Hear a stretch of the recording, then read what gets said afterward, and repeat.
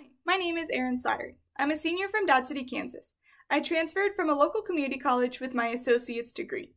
I chose K State because my dad is an alumni and I was born to bleed purple. However, once I started looking into Kansas State University and its programs, I fell in love.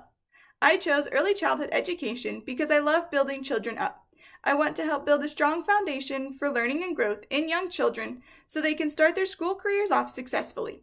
The Early Childhood Education program here at K State gives you a hands on opportunity to work with children and to practice the strategies you learn in your classes. With this degree, you will get experiences with children birth through kindergarten and children with special needs. Through the different practicum experiences, I have gained supports from faculty and staff. They are here to act as mentors for all students. I have also gained the confidence in myself to run a classroom. From this program, I have had the opportunity to work on campus at Hoeflin Stone House. The most rewarding part about my time in the early childhood education program is knowing that I am influencing the lives of young children. I know that I am helping them grow and develop each and every day. Go Cats!